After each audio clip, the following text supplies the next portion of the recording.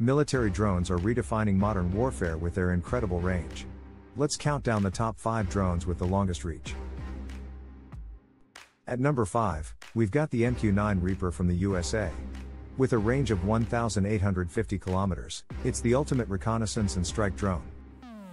Number 4 is the Elbit Hermes 900 from Israel. This high-tech drone covers a range of 3,000 kilometers, perfect for long endurance missions. Coming in at number 3, the RQ-4 Global Hawk can travel an astonishing 22,780 kilometers. It's a surveillance giant, monitoring vast regions. At number 2, China's Wing Loong 2.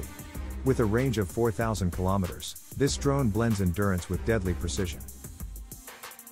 And the top spot goes to the MQ-4C Triton from the USA.